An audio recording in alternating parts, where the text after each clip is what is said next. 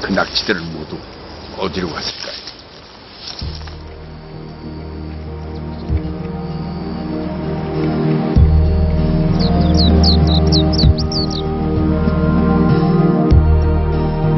옛 낙지의 흔적을 찾아 영암으로 왔습니다.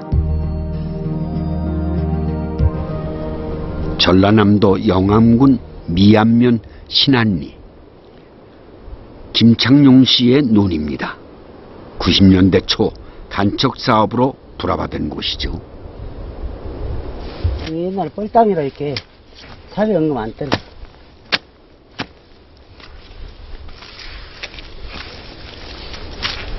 뻘이지. 쫙, 저 빨간이죠. 배인 데까지 물이 찰랑찰랑했지. 근데 지금은 이 노인이 돼가지고 이렇게 힘들어. 이렇게. 김창용 씨는 원래 낙지잡이를 했습니다.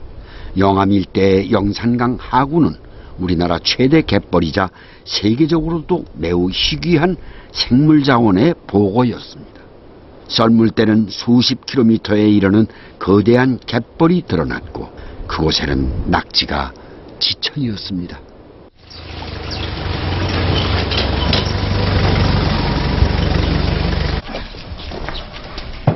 야, 오늘 많이 잡았냐? 아니요. 별로 못 잡. 뭐, 터치는 안 하고. 응? 그냥 맨날 가야지. 음. 아이고, 오늘 많이 잡았네. 아들은 이제 멀리 목포까지 나가서 낙지를 잡아옵니다. 아버지는 텃새는 없었는지 항상 걱정입니다. 뒤에 산소 해놓을까? 그전에는 이 우리 앞바다에서 그 작업을 할 때는 야 평상시에 저 그 대리기를 짊어지고 갔을 때 마음 편하게 가는데 지금은 예제에 가서 눈치 보고 잡아야 행패이 되겠길래 좀 알도 저걸 들고 가면 내 마음도 안 좋고. 10년 넘게 농사를 짓고 있어도 마음은 항상 갯벌에 나가 있습니다. 방황했던 젊은 시절 힘들었던 결혼 생활을 지탱하게 해준 게 바로 낙지였으니까요.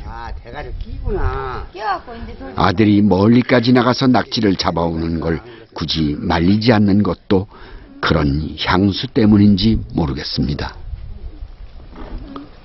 그 노래 하나 해봐라 뭐? 텔레비전에 내가 나왔으면 좋겠네 그거 한번 해봐 응? 응? 창피해? 어째 창피하냐 창피해 숨어버렸어 서해 간척 사업과 식생활의 변화는 쌀과 낙지의 경제 가치를 180도 바꿔놨습니다. 옛날엔 낙지를 잡아 쌀로 바꾸어 먹었지만 지금은 서해 갯벌 낙지 7마리가 쌀 20kg 가격과 비슷하니 말이죠.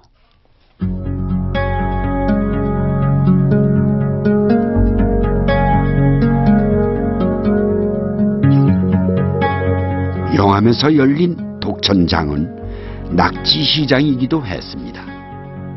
영암에는 큰 우시장도 있었는데 우시장에서 나온 소의 부산물과 독천장의 낙지가 결합되어 갈락탕이라는 음식이 만들어진 게 바로 영암이죠.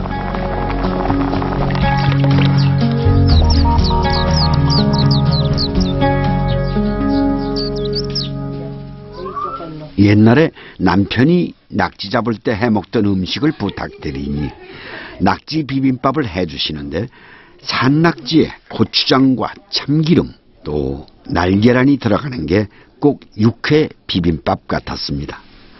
우시장이 있던 영암에서 비싼 소고기 대신 흔했던 산낙지를 가지고 육회 비빔밥처럼 만들었던 게 아닌가 하는 추측을 해봅니다. 우리 생명이 그지 네? 소중한 생명이지. 생명이 그지 인연이고. 이거 다녔어 나는 뭐 여기서 굶어 살지도 않았지. 굶어 죽었지 이제 노가대 같은데 그런 데로 빠져가지고 술로 이제 못 하시다가 이제 돌아가셨을랑가도 몰라. 우리 헤어졌을랑 그래야지.